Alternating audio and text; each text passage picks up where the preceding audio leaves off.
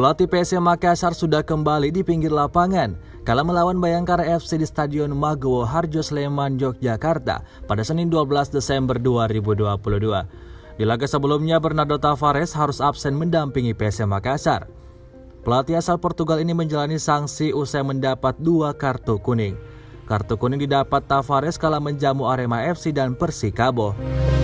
Usai kembali ke lapangan, Tavares masih mempertanyakan hukumannya tersebut. Percakapannya bersama wasit pun ia bongkar ke publik. Waktu lawan Persikabo saya hanya menanyakan bahwa seharusnya kartu dong karena pemain lawan melakukan pelanggaran kepada pemain saya, kata Tavares.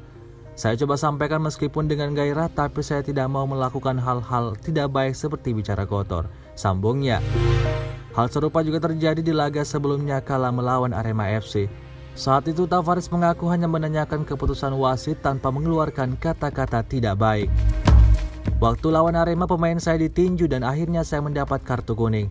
Padahal saya hanya bertanya, apa yang kamu berikan kepada pemain ini, Arema yang meninju pemain saya, ujar Tavares. Dari dua kejadian tersebut, Tavares menginginkan sepak bola Indonesia bisa berlangsung dengan aman dan damai. Kini, Tavares masih disibukkan dengan meracik strategi agar PSM Makassar bisa tetap berada di jalur kemenangan dan papan atas klasemen sementara.